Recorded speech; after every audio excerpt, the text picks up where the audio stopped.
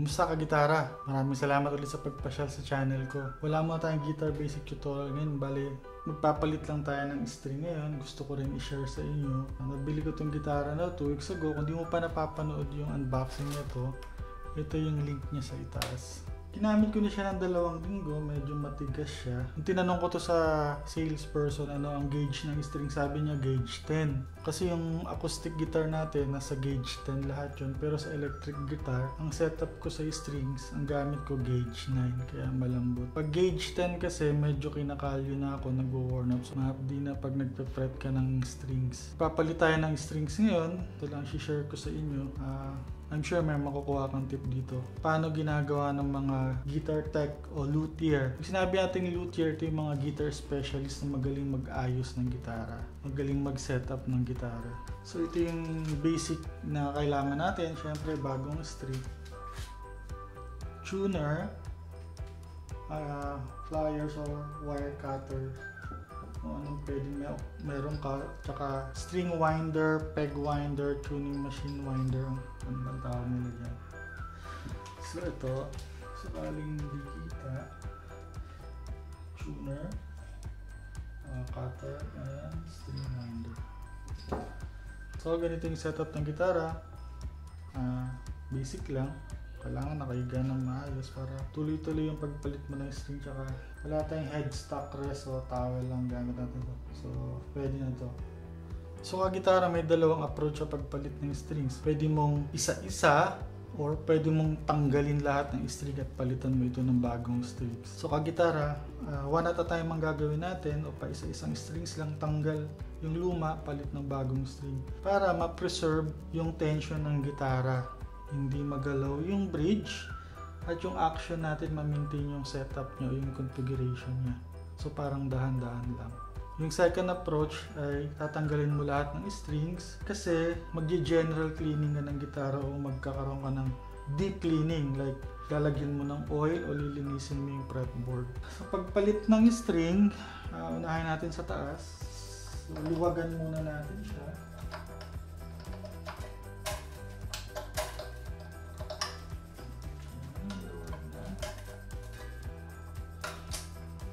Iba, habang minaway nila rito, uh, may nakapatong rito na tela o kamay nila. Para maiwasan yung pagpitik. Meron din silang cloth dito, ilalagay, para hindi magasgas. Ito okay naman to, will do the work na. So, tanggalin lang natin. Mga pala, yung iba kinakat dito. So ako, ito lang approach ko dahan-dahan lang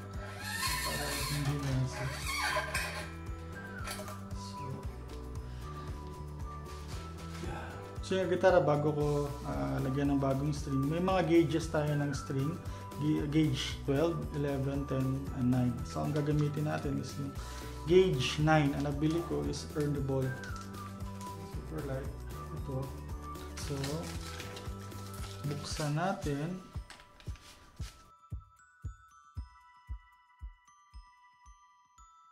So yung kagitara, ito yung uh, low E string natin o yung 0.042. So pag i-uncoil natin siya, make sure na malayo siya sa iyo sa mata mo para hindi ka tamaan. So ito yung ball point at yung plain na N. So same procedure kung paano mo siya nilabas, paano mo siya tinanggal, So make sure nakapatong siya sa tailpiece mo. Sa bridge mo ng maayos. Same here. Sa end dito sa nut.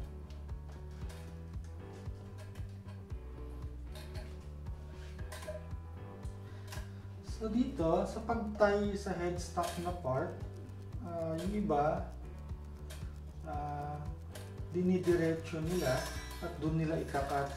Iba, dinidiretso na agad. Tapos, uh, binibend yung strings. Then, iikot nila at ikakat nila yung sobra. Pero sa akin, ibang approach ko. Dali, makakat ko na siya rito pero hanggang dito siya sa dalawang tuners.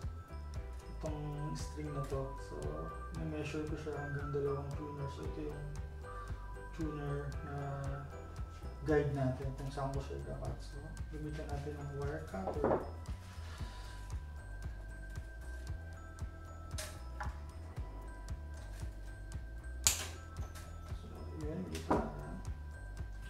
Then, uh, kailangan uh,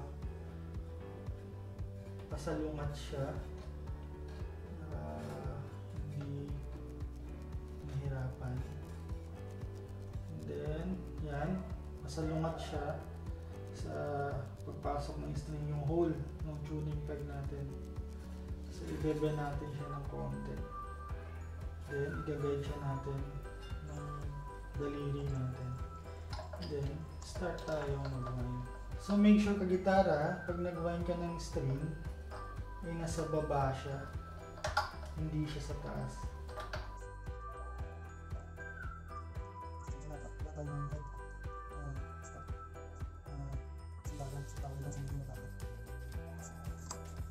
Ito na yung output niya kagitara. So, bago natin higpitan,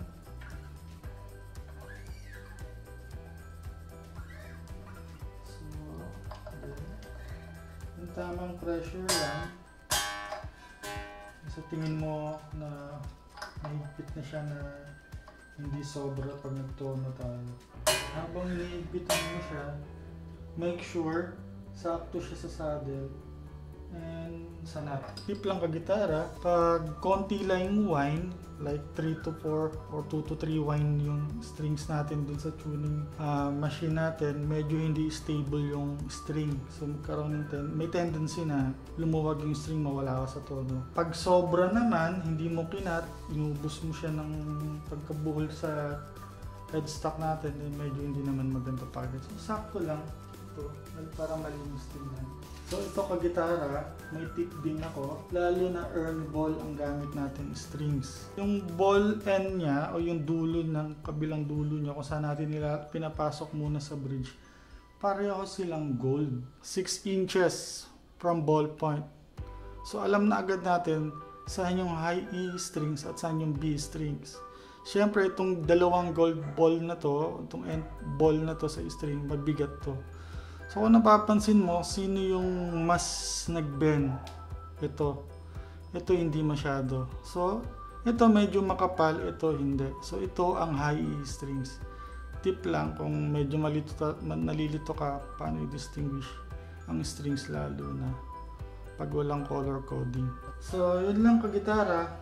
Yung first string natin, it will apply as well dun sa ibang strings, yung process natin, paano tinanggal at paano natin ginamit.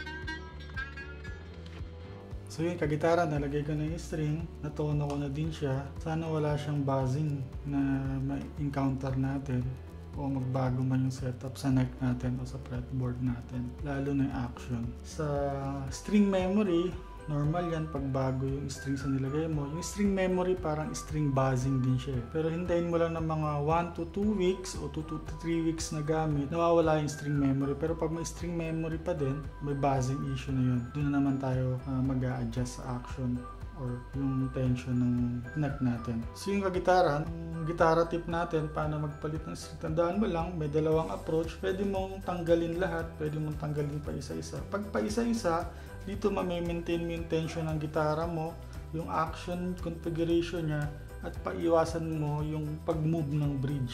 Pangalawa, pag tinanggal natin lahat, pwedeng may general cleaning, deep cleaning o may may apply tayo para ma-recondition yung fretboard natin. So ingat lang din, pag uncoil lang strings, tip lang din, sana malayo sa mata. O di tamaan yung mata mo. At ang huli ay ang paano i-distinguish ang high E strings sa B strings. Kung pareho, kung pareho sila ng color or walang color coding. Maraming salamat ka gitara sa suporta mo dito sa munting gitara tip natin. Simpleng ah, video lang pero pagkukuhanan mo ng aral paano magpalit ng strings. Sana i-like at subscribe mo din yung channel ko or pasyalan mo yung channel ko para makita mo yung playlist natin para sa pang guitar basic tutorial natin. Salamat ka gitara, kung bago ka pa lang sana i-like at subscribe mo. Salamat sa suporta ka gitara, enjoy at ingat ka.